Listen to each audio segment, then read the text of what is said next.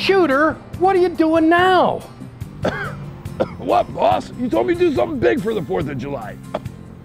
Old oh, Bruce didn't know what to expect for Shooter's 4th of July fireworks display. Gotta admit, Shooter, that was pretty impressive. Thanks, boss. I do love blowing stuff up. Charles Auto Family, beautiful Garrettsville, Ohio. Not bigger, just better.